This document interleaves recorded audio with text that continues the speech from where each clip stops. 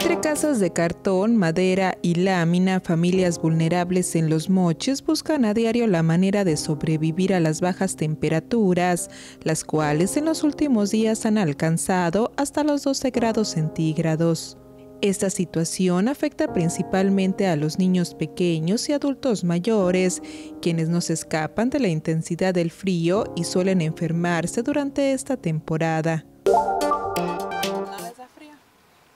A veces, yo y mi hermano nos tapamos con dos, una chiquita y una grande. Es el caso de don José Rosario, quien se ve obligado a recurrir a todo tipo de prendas para cubrirse, ya que desde hace días no logra conciliar el sueño por el intenso frío que cala hasta los huesos y las pocas cobijas que tiene no le abastecen para amortiguar las bajas temperaturas. La cobijita que que tenemos pues son, son, son, cobijas que, no calientan, son muy delgaditas y tienes que, echar hasta, hasta, sábana a veces para que, para que amarre, pues ahí. De acuerdo con el director de salud municipal en Ahome, las enfermedades respiratorias se han disparado hasta el 60% durante el mes de diciembre.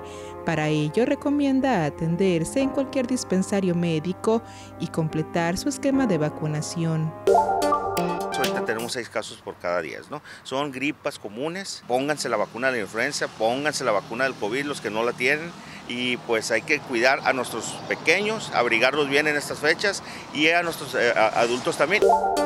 En México, uno de los principales retos para reducir los niveles de pobreza es la falta de políticas públicas progresivas esto implica poner el foco en la población más vulnerable en términos de ingreso y derechos sociales para que el impacto sea mayor en estos hogares. Kenia García, Mega Noticias.